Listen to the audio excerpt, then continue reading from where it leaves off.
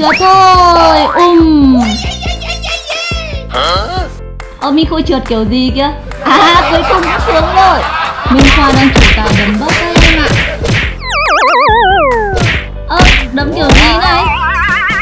Lại đấm Lại ngã. Minh Khôi cũng muốn chủ tài à? Ok chủ tài đi Minh Khôi. Yeah! Ây cũng ngã rồi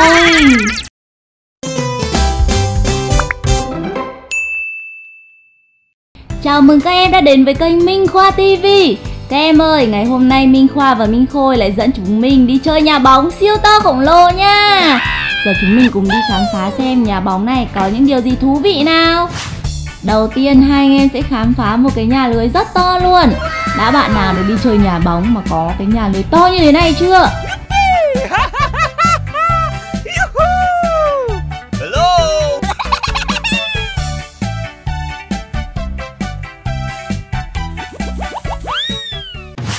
Chơi trò bạt nhún này cũng rất hay luôn. Và chị đảm bảo chắc chắn luôn là bạn nhỏ nào cũng thích trò này.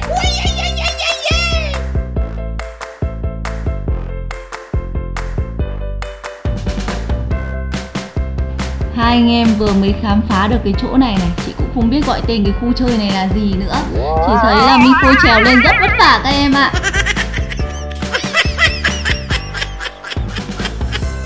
Đi chơi nhà bóng thì phải có bóng đúng không em? Và đây, ở đây có rất nhiều bóng đủ màu sắc luôn này các em. Có vẻ như Minh Khôi vừa lái tàu hỏa xong các em ạ. Hai bạn ấy đang ngồi trên chiếc thuyền chuối siêu to khổng lồ và bơi trên dòng sông bóng này các em.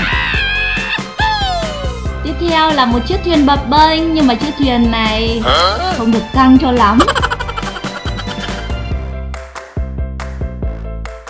Trượt thôi. Ùm Ờ Minh Khôi trượt kiểu gì kia? À cuối cùng cũng xuống rồi. Trò cầu trượt ở nhà bóng cũng được rất nhiều các bạn nhỏ yêu thích này. Đông chưa các em!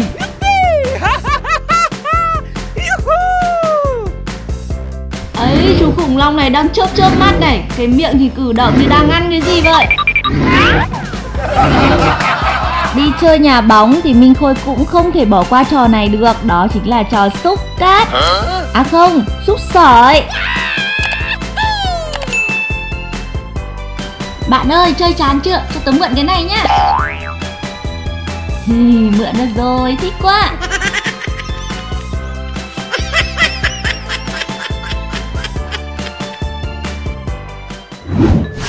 Chơi đu quay nào, trò này cũng vui lắm đây Ngày nhỏ chị chơi thôi chứ bây giờ ngồi lên đây là chị cũng thấy khá chóng mặt đấy các em ạ. Nhưng Minh Khoa và Minh Khôi thì lại rất thích!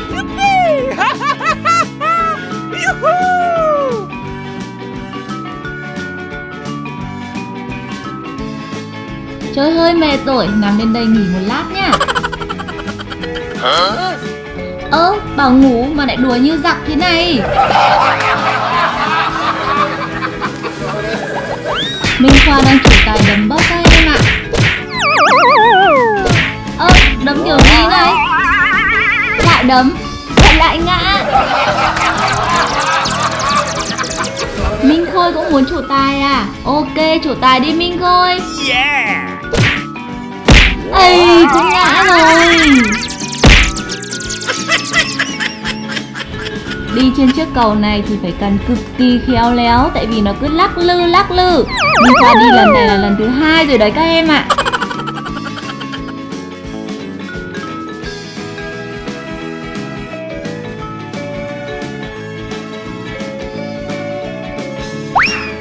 Minh Khôi cũng muốn đi à? Nhưng mà thấp quá, Cái tay không nắm được lên trên. Không nhấc nổi một bước chân nào luôn. Và đây là Minh Khoa Tiếp theo là Minh Khôi. Cái đường này cứ như là mê cung vậy, Chạy đường nào đây? Ồ, mỗi người chạy một đường luôn rồi. Để chị xem Minh Khôi chạy đi đâu nào. À kia rồi. Hai anh em lại chạy đi đâu kìa?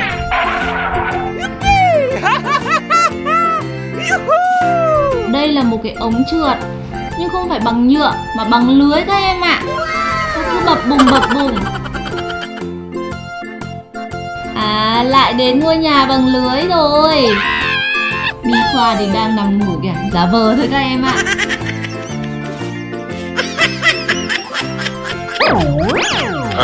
Minh Khôi cũng bảo chị cho Minh Khôi ngủ một giấc. Đi qua chỗ này cũng phải đi thật cẩn thận các em ạ. Nếu không sẽ bị tót chân xuống phía dưới. Chỗ này là có một cái bảng này. Và Minh Khoa thì đang xếp chữ. À chị nhìn thấy chữ Minh rồi. Yeah. Nhưng chữ Khoa. Thì chưa hoàn chỉnh. Hay là Minh Khôi định xếp chữ Khôi nhỉ? À, Minh Khoa thì xếp chữ Minh Còn Minh Khôi thì xếp chữ Khôi. Nhưng tại vì em Khôi chưa biết chữ Cho nên chưa thành chữ Khôi các em ạ Đấy các em thấy chưa? Cứ lắp vào là cái đèn nó sẽ phát sáng và đủ màu sắc khác nhau.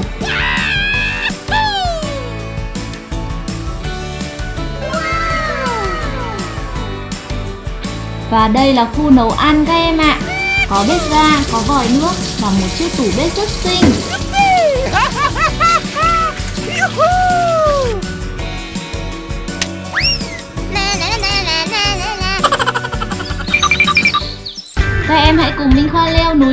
Nào Chúng mình phải leo thật cẩn thận nhá.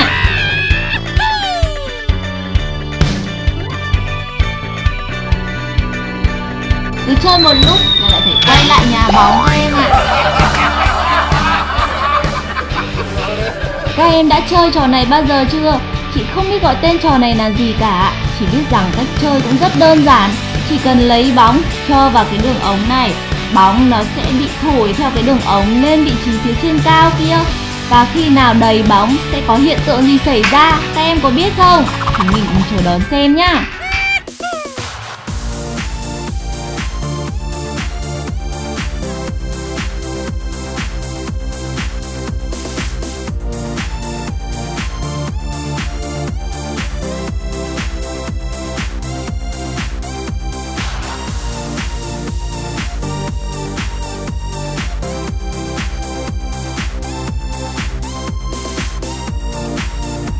Hiện tượng đó chính là khi bóng đẩy cái nắp nó sẽ tự động mở ra và Minh Khoa sẽ được tắm trong bóng đó các em ạ.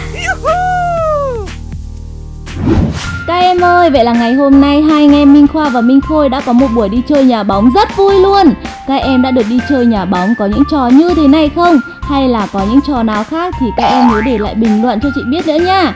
Cảm ơn các em đã xem hết video và hẹn gặp lại các em trong các video lần sau. Chào tạm biệt.